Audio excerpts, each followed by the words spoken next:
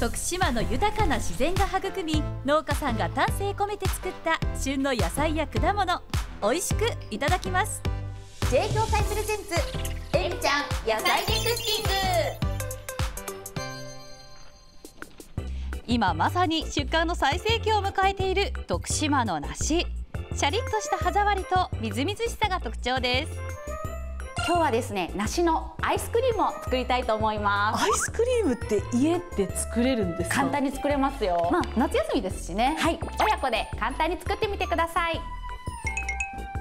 材料です。使うのはこれだけ簡単な材料でアイスクリームが作れちゃうんです。まずは梨を半分に切りましょ半分に切りましてうわーこれ美味しそうですね。すごくジューシーですね。うまずは梨半分の芯を取り皮付きのまま角切りにします。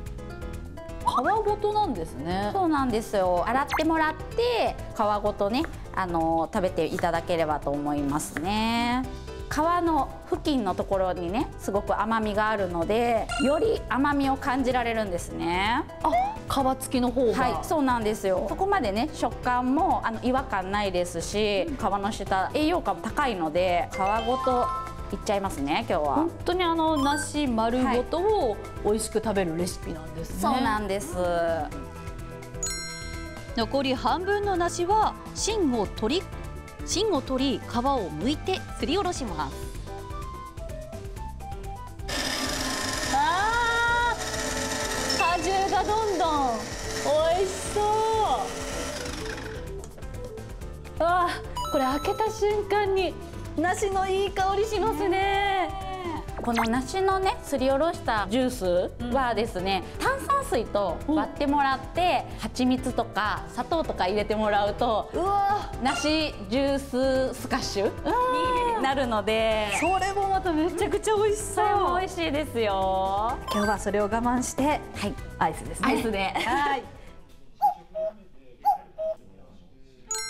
ボウルに生クリームとグラニュー糖を入れて泡立てます何か注意点ありますか？そうですね。あのよくね乾いたボウルと泡立て器であの使用してもらうといいですね。水分厳禁なんですね。そうなんです。しっかり泡立ったらヨーグルトとすりおろした梨角切りの梨を加えて混ぜ合わせます。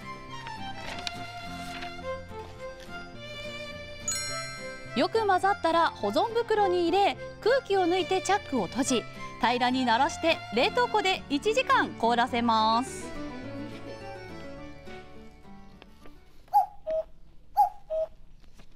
あいい感じですね。固まってきてるのでこういう風に保存用袋の中でこう揉むんですね。でちょっと空気を入れてあげると滑らかなアイスクリームができます。1時間ごとに冷凍庫から出して空気を入れながら揉んで再び凍らせます。これを23回繰り返しましょう。